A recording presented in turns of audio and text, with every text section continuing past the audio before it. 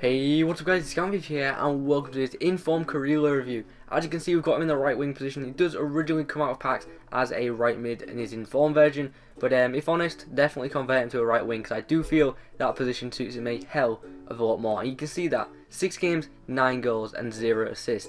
Now the reason for the 0 assists was not because I wasn't crossing, because I was trying to cross, but his crossing just wasn't that good. And every time I did cross, it either went over the box or was a bit too short. But when I was shooting with him, I had a lot of success. So if you want a right winger that's going to be shooting, then uh, yeah, you're going to enjoy Carrillo. Because to be honest, for a cheap inform, he's definitely worth the price. 12k is worth it to be honest. And you go into the in-game stats, and one thing you notice straight away is the pace. And he's got pace, and you'll see that in the clip very, very quick, and his dribbling's awesome as well. Especially for such a low rated inform, I I felt that the combination of pace and dribbling was absolutely awesome. But uh, one thing I do want to point out, the 70 finishing and the 82 shot power.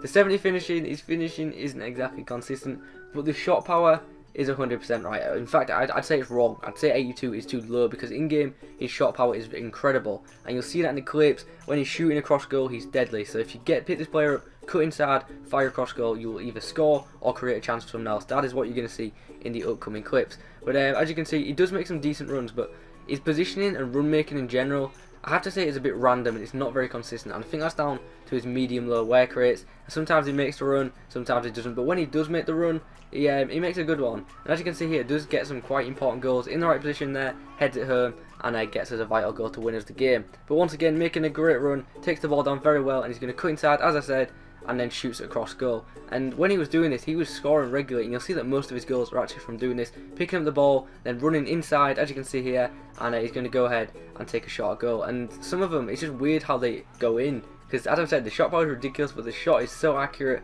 the keeper just cannot react in time, and it's actually really good to see. Ball gets flicked over here, and look at that pace he's got over Alaba. That is absolutely incredible. Really good balance test on his feet, and I don't know how the hell he actually finished that shot. That was actually incredible to see.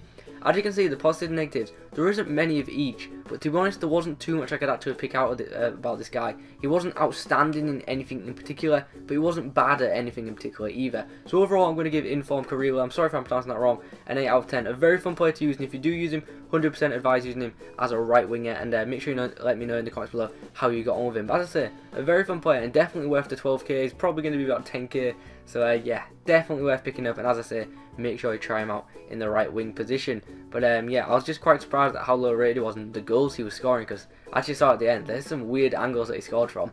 Anyway guys, that is the end of the video. If you have enjoyed, remember to leave a like, remember to check out last night's reviews and this morning's. Have a very good day. Adios.